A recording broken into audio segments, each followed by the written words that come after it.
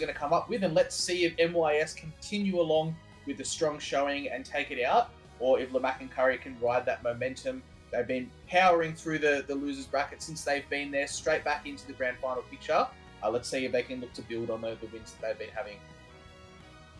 Yeah, no, it's it's gonna be good to see because, as you said, they are the only team for the second week running now to have taken a game off MYS. So the chance is there. You know, they know they can take a game off. They just need to make take two games off to be able to uh, win this. And you know what? They're gonna keep coming back. They're they're definitely improving. They're learning each other's styles. They're just it's such a mind game between these two teams, and they fought tooth and nail here. So we are going to see if Team MYS will hold onto their first position, or will finally uh, Team Lemak and Curry find a chink in the armor, because that's really all they need to just find that little chink to be able to break through and take uh, not one but two games off. So now we can see at the start there is a mute and Crustle band. That's a respect one uh, to Rebongs and Nightmare Foxy. And in turn, we do see the double evolutions band again. Now we look through here, you can see Yimu. Like Avro, I, I know Gyarados is a definite favorite of yours lately.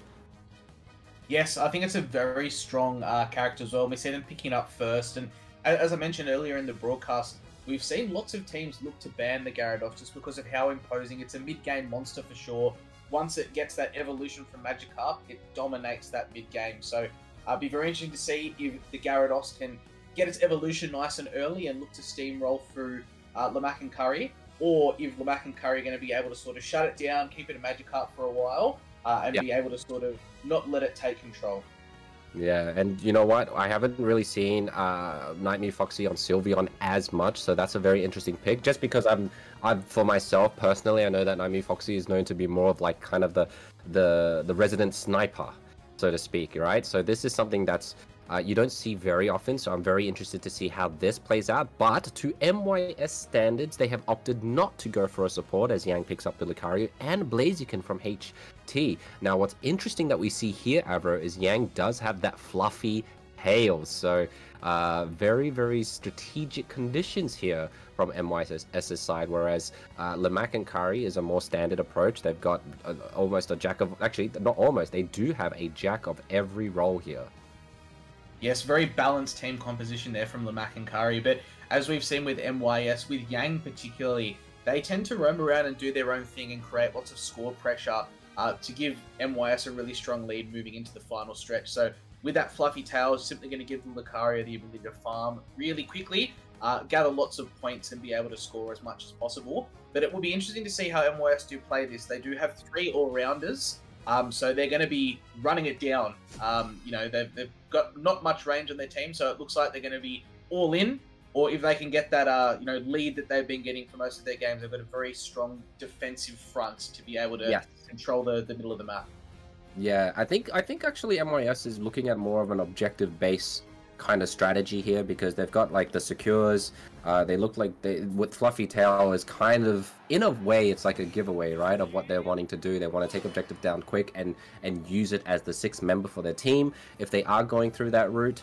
Uh, but we can see here that Lucario is going to start off something. Maybe Yang will be doing something to, yeah, evade with the fluffy tail. We'll wait and see as Yimu gets kind of like a free gauge experience farm there for the Magikarp. So, uh, interestingly enough, Torchic will be their central laner and Yang going to cause some havoc at the start, starting with the blue. Now, Mimikyu is very strong. I will say that Lemak and Curry has a nice team. Great protection there from Lemak and Curry. Yang in a lot of trouble. That fluffy tail isn't going to help him, and they do get another one for their uh, for their reward. So this is this is great what we see from Lemak and Curry.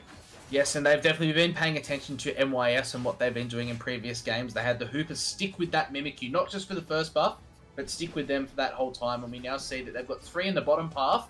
I probably was communication that Magikarp was running solo up top, uh, so didn't need many resources there.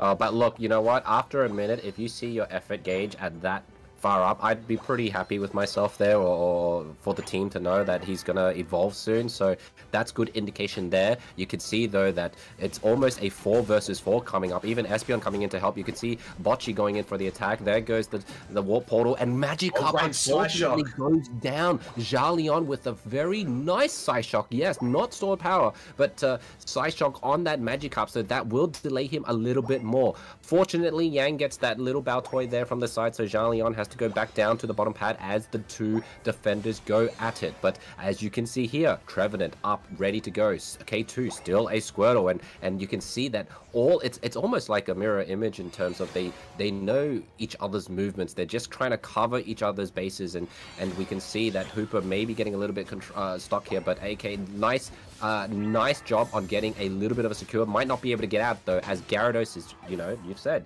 is such a monster once he. Yeah, we we even see that there. It's you know level four had a two level disadvantage, but still is able to come out on top. Uh, and that has given it a lot of XP. So essentially, back in the game, top lane, it's almost as if Magikarp was never there. Um, and we yeah. see here as well Sylveon coming up to provide some further support. They're going to be able to get that KO on the enemy team's jungler uh, which is really big there. Lots of levels for the Blaziken. Is going to be running around with a couple of buffs now for a little while as well. Yeah, look, this Hyper Voice is doing absolute wonders for Team MYS right there. It's such a, a nice shred of SP defense for uh, Lemak, uh, against, you know, Lemak and Curry here, and they're doing really, really well about it. Just, it, it's so interesting to see how MYS plays as one of their rounds, not using a supporter at all. They just want to always adapt that aggressive lifestyle, as you can see, and they're getting rewarded for it, as you can see. Even though the, the initial invade wasn't successful, it did cause distraction, and, and Lemak and Curry is trying to find their correct footing here. Now, unfortunately for them, uh, AKX, the Meowscarada, is doing its job well. You know, just getting those scores in, doing what we've seen in the past from both these teams. They prioritize that top lane. Yeah, and it looks like just down in bottom path there, the Regice, from the looks of things, was ripped very quickly. Uh, and with the secure uh, sort of comp that they are playing for MYS, Overheat was able to pick that one up, uh, guaranteed that objective. And then we were also able to see Gyarados rip the top wow. Regieleki. So MYS creating pressure all over the map here, and they're able to take both objectives off the map within that sort yeah, of like, seconds. Geez, uh, ladies and gentlemen, blink and you'll miss it. They, uh, as we said, MYS. Uh, I thought they have, yeah, adopted a a team composition to just kind of rip the objectives. You know, so this is work. This is what they're trying to do. They're trying to create pressure, as you said, from all sides, and it's working. And because Hoopa Portal is so important, the fact that two of the tier one pads are now down just makes Lemak and Curry's mobility that much weaker. So uh, MYS is doing really well here. Yes, being able to take away those two Team 1 pads is massive. Obviously, Hoopa can use the hyperspace hole to travel from top to bottom path, but when you remove the T1 goal zones, it makes it more of a defensive maneuver as opposed to being able to use it aggressively or for offense. Uh, so they've got a really good uh, lead here, MYS. Score lead as well, but lots of map pressure being created. Yeah, look, we're, we're complimenting MYS a lot, but we gotta never leave out Lemak and Curry's composition because they are more of a team-based fight. So as it gets closer to the Rayquaza, they would if you look at the team comp here, you'd think that Lemak and Curry should have the advantage, but we got to see how much uh, ahead will Team YS be in terms of the scoreboard to see if that's going to play uh, any importance here. But you can see a big fight going through Portal in uh, to save Lucario a little bit, but Sylveon getting rid of that Mimikyu, Nightmew Foxy just really there in the back line. Hyper Voice doing so much. Trevenant, X-Speed, Woodhammer onto the Blastoise, Blastoise surfing away, and Meowscarada clone, uh, double team just really just attaching itself there wow, what timing from that Horn Leech from Reeboks. The, that was so perfect. Blastoise just... How would you feel as soon as you pop out? You're just KO'd in two seconds. Yeah, and that, that you can tell Reeboks has a lot of experience in that respect as well. Was able to time it in his head, know the, the timers to go, if they're coming back, this is the moment. Preemptively use the Horn Leech there and was able to catch the Blastoise out and drag into the rest of their team. Yeah, for, for a team that doesn't necessarily use supports, they are doing phenomenally well. And now they are just trying to you know, situate themselves so they're, they're reading each other's minds right now. They can see that uh, Team Lemak and Curry is trying to go to places where they can't, but you can see at this point in time, Lemak and Curry finally gets to do an objective first. Now, they may be able to take this Reggie Regieleki, which is going to really help them. Uh, Lucario, though, does have Fluffy Tail. Yang's applied it, but gets stuck. The Psyshock, not enough, even with Lucario's Unite, so they anticipated that move. Great job by Lemak and Curry, and now they are getting the KOs that they need, but Sylveon goes through. They couldn't go ahead and score as Regieleki goes for an 8 overcap on the tier 1 pad. Yeah, very smart play there as well. Unfortunate for Lemak and Curry that they weren't able to do anything with the Regieleki once they secured it. Uh, the pad was on 12 points and Regieleki went crashing in before Blastoise could break it there. But uh, MYS, once again, able to hang back, send one troop in to see if they could get the secure, uh, but defended really well and picked up a KO or two. Uh, looks like Lemak and Curry have a good opportunity here to fall back, take some of their troops, get some experience from the, the creeps there, uh, and then look to form together and make a push, uh, wow. whether it be top or bottom to score some points. But looks like the Meowscarada as well, they're no, getting KO, yeah, he, deep, but... He tried to be really sneaky there, but uh, it's so hard when you play against a professional team. You just have that awareness and insight to guess where you are running and hiding and you're running out of spaces there. But saying that though, Bocchi, such a brazen move with one minute to Ray, looking if there's any uh, buffs available to try and do. And uh, now he's just kind of like guarding this area because they yeah, do have is... eyes at the bottom.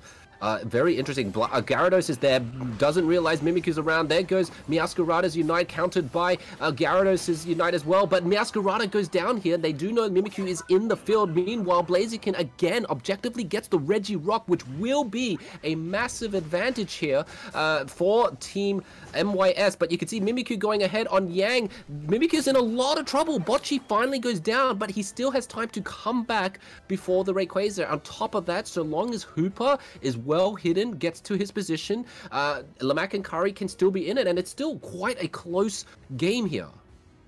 Yeah, it's only a matter of about 70 points at the moment. Uh, MYS do bring a level lead into the final stretch here, but having said that, the Hoopa, with its uh, Unite move and the ability to reset uh, the teammates for heals as well, could prove vital in getting an edge in the team fight.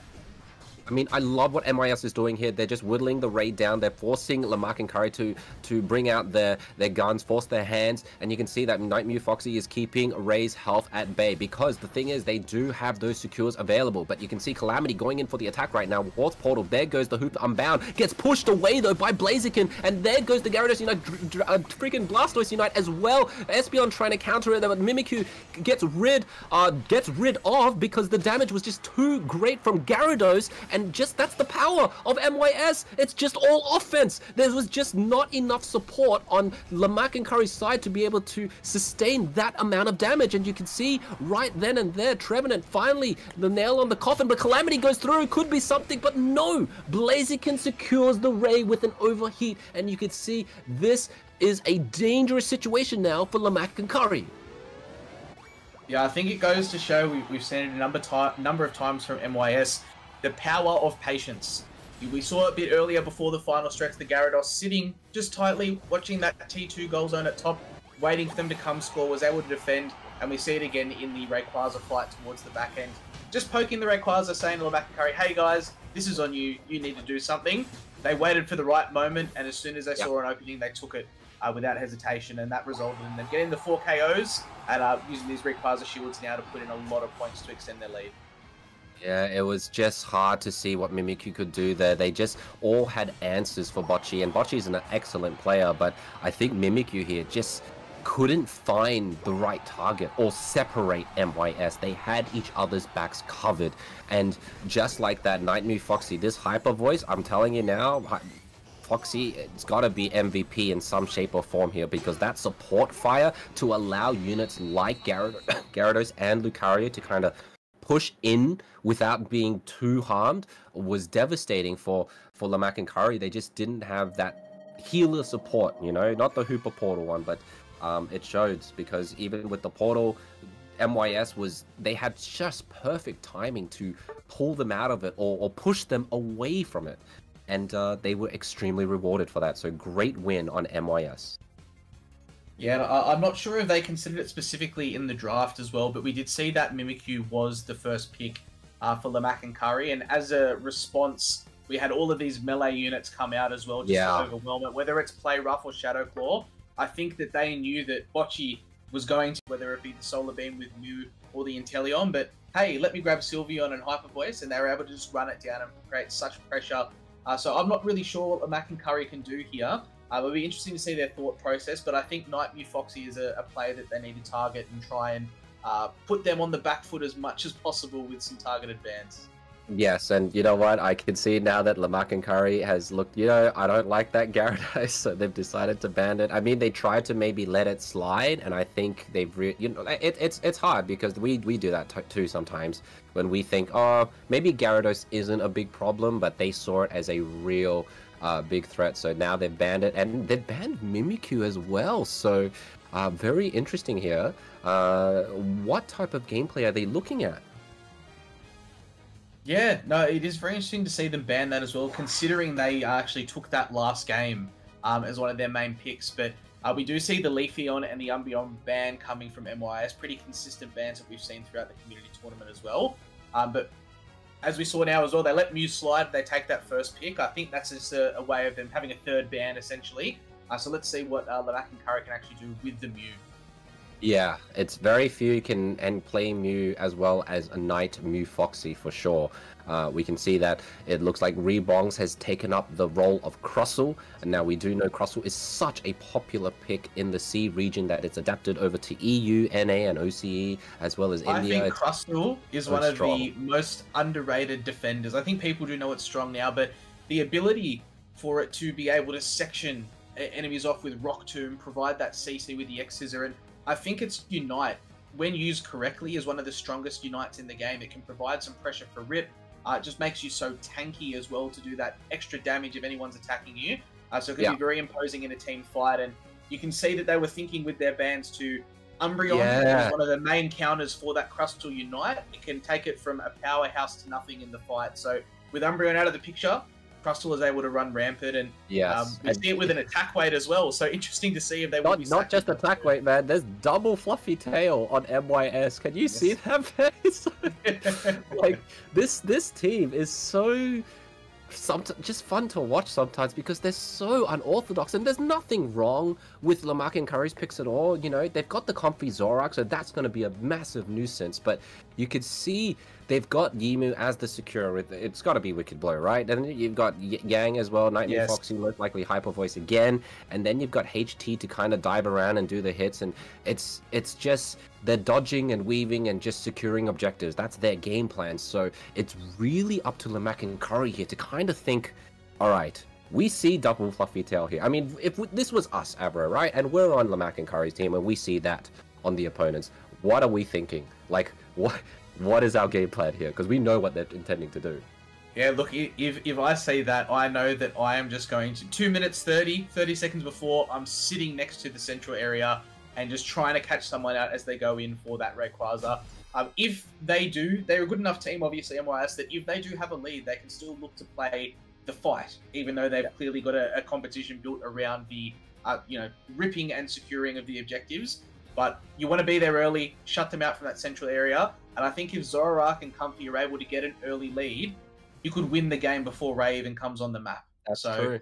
Yeah, I mean, I, I guess in terms of this though, not maybe just the central area, but Fluffy Tail for the top Reggie Regieleki, it's all about the timer. And I think with both of these teams, as we go to what may possibly be the final game of the night, uh, they know timers, man. Not just the objectives in terms of the Reggie Regieleki and uh, the bottom Reggie, but also uh, the central farm, the the jungle. They they've got it down pat. So it's really like a battle of the minds between these two teams. Yes, and look, very interesting as well to see that there is a Urshifu in lane. Um, very rarely will you see, uh, you know, a Kubfu running around in lane and whatnot, but the Lucario is doing a great job trying to pressure, but it does get taken down by the Squirtle as well. So it looks Yeah, like we very could see Curry an early lead in the top half. I mean, this yeah, this is really good, and and they've seen this now. They look at what they've adapted here. They've actually gone four players bottom. They don't want to give any advantage, and you know what? Squirtle taking one down is great, and you can see their Reeboks cannot defend and it's just a Dwebble. So this is a great response from Lemak and Curry uh, compared to game one. And uh, the good side though is at least Bocce does have a little bit of an experience, but he is still up against three. But as we say that, there goes those Comfey and Zoro Zoroark going through. Yang's in a lot of trouble, gets taken down. Here comes uh, more trouble on the horizon. HT trying to not to give away those busts, but you cannot escape the power of Comfey Zoroark. How hard is it to avoid that situation? And all of a sudden, the tables have turned Avro. Yimu stuck at level 4 Kubfu. Yeah, and this is what they needed to do, right? They needed to get an early level lead and just snowball, and I dare say we could see them get a triple KO here if played correctly. However, they do get with the pursuit does enough to be able to take down the both the Zoroark and the Comfey, and that will put them on the back foot a little bit now.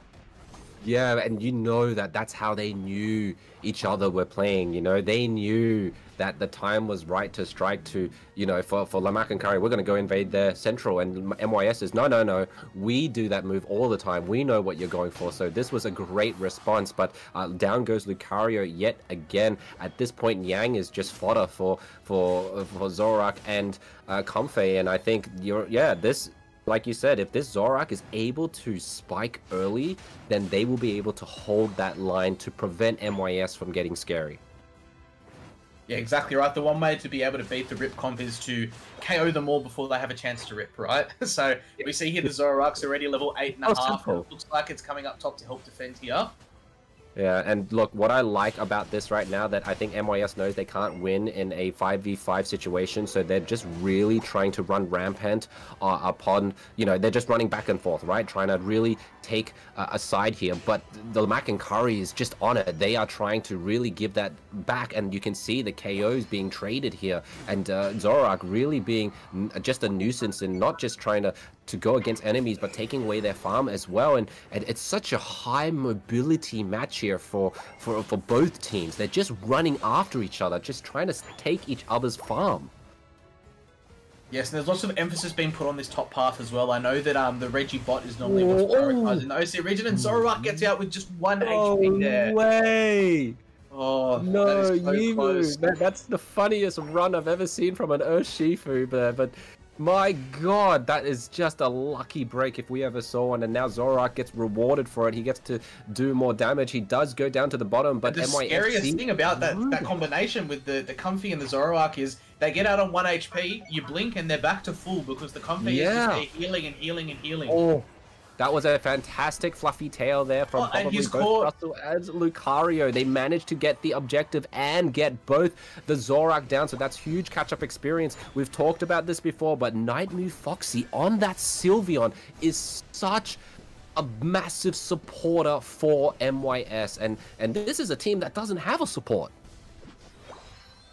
Yeah, the way they play is just uh, amazing to be able to do so well without sort of any healing on the map um, no support characters, so look, the Zoroark definitely has the opportunity to burst them down and get a, a few early KOs. Um, you know, when team fights do break out to put them on the back foot, but they are going to have to play it correctly because there is so much burst damage with the comp that uh, MYS is playing at the moment as well with that. Yeah, look, I, I really applaud the effort that Lemak and Curry are doing right now, but we're going to see Sylveon do a 40 dunk at the bottom, putting them ahead. Uh, it looks like the level is, is pretty neck and neck. You know, they tried to halt the leveling system there. There goes a Unite from the Crustle. Uh, Lucario getting rid of that Blastoise very, very quickly. And then, oh my gosh, another one from Absol getting rid of the Trevenant, and now they're on the hunt. Uh, Jalion trying to get out of there, goes for a nice Hyper Beam. There's the passive, but blocked by Yang. There goes the Mirage as well. Muse trying to find a way to get rid of that Absol, but to no avail, has to back out. MYS protect their forces with each other, just sacrificing each other's HP and getting rewarded for it. Another Fluffy Tail, and how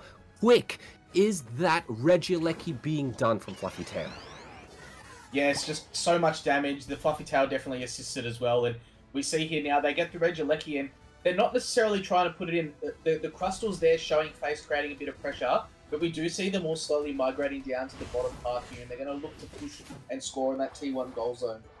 Yeah, and you can see the intentions. We can see Jalion, you know, such a fantastic Mew right now, just really trying to hold the fort for his team. But it, the numbers just get overwhelming. And, and as you said, Crustle showing face, just trying to be that little nuisance. And even though Lemak and Curry most likely knows that they were rotating, it just wasn't enough time and as you can see another fluffy tail like this is i guess i don't i hope this is not a meta Avro, but if it is, I'm, I'm still kind of all for it. Like, just they have two fluffy tails, one for each objectives if they don't have it. And uh, it's looking to really pay dividends, but there goes the counterattack. MYS may have stepped a little bit too, uh, stayed there for too long. Urshifu in a lot of trouble going in for, or managing to maybe get out there. Yimu very, very close, but Trevenant's not having any of it. Blastoise gets rid of the Urshifu. Nightmare Foxy does have the Comfey on hand, but maybe in a little bit of trouble. Lucario trying to pick off anyone here as Bocce maybe gets a KO on Nightmare Foxy, and which they oh. do. Not double Comfey. Something just happened there, and I swear Comfey just took one for the team by detaching off the Sylveon. Yeah, that's yeah, so the, the Comfey's on the, the enemy team from the Sylveon as well. So it looks like the Comfey there was uh, looking to jump off and potentially A press to try and secure that KO on the Sylveon, but Hyper Voice just too strong there. I was able to get a bit of distance, activate the hyper voice, and we saw both the Blastoise and the Comfey uh, go down. That yeah, that was look whatever that was. That was so quick, but it's not over. I love that Lemak and Curry is neck and neck for the score right now. It's so close. The levels difference is not too far behind, but we gotta beware here. MYS has double fluffy tail. Now, they are positioning themselves for the Regieleki. They may be using the first one here. We're not yet sure. They're pushing forward on it. They already, uh, they may apply this. We're going to have to wait and see, but they are pumping it down. Regieleki, four members of MYS there. Four members on the top. You just can't beat the, you can't beat that. The fluffy tail uh, straight away because you have to kind of anticipate it, right? And, and, and then go against their burst. But now with Reggie Regieleki pushing it as aggressor, look at the rest of MYS at the central ray. They're ready for it. This is where Lemak and Curry have to just go, it doesn't matter, you don't have your Unite move, the Regieleki, nothing. We need to get to the Ray Pit here. We see the, the Hyper Voice just screaming at that Oh, they're going for it so quick right now. It's going to be really quickly done. Lucario, the quickest rip you ever saw. This was to be anything insane, but no, HT managing to do a score there. The fluffy tail meta. Avro, I think we need to go into a ranked game and do double Fluffy Tail, man, because this was so quick. I'm putting Fluffy Tail on every Pokemon that I have now. no. but that, that just goes to show as well um, the extra sort of advantage a team has when you go 1 0 up uh, in a best of three. It gives you the power to be creative and, to do something a little bit out of the ordinary. And uh, the conversation there with MYS, very confident in their ability, but they probably just said, guys, grab your fluffy tail, let's rip the ray and see what happens. And they've managed to come out on top here. And I don't think there's going to be enough time to make that push. They are 300 points behind Lemak and Curry. Having said that, they do have time to rally a push, but we see this cheeky Crustle looking to score another 22 points uh, in the second. He, he knew the there. exact amount, Avro. He wanted 550 exact. That's all he wanted. Yeah, but exactly we right. do see another push going through here. Great catch by Mew. So there is st still a chance. They just need to stay there. There's five members of the Curry on the top. You can see the Solar Beam being put on the Crustle, but that Hyper Voice is doing so much damage. Trevenant has to eject away. Urshifu has come back in with the Wicked Blow. Yimu just trying to be scary there. There goes Trevenant once more, but gets ripped to shreds by the uh, Urshifu. You can see that Blastoise spinning around there right now, but Mew getting KO'd by the Lucario as well. Blastoise, the left to stand, is the one trying to push out all sorts of waterworks, but to no avail. There goes Zora, uh, Zoroark as well, and that is it, guys. That, for the second week running, Team MYS has just showed the region that they are definitely not of ring rust. They are so formidable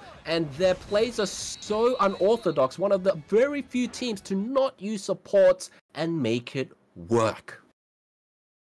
Yeah, very, very exciting gameplay there, guys. And look, Lemak and Curry put up a, a very good fight, making it all the way through the finals, but MYS just proved they're too strong at the moment. Uh, they seem to have, they're, they're so in sync. They've got everything down pat. Uh, even when they are being a bit weird and wonderful with the fluffy tails and looking to play a rip comp, it still just looks so smooth from their side. So congratulations to MYS on taking out the tournament, um, with only dropping the one game throughout the, the whole tournament, I believe.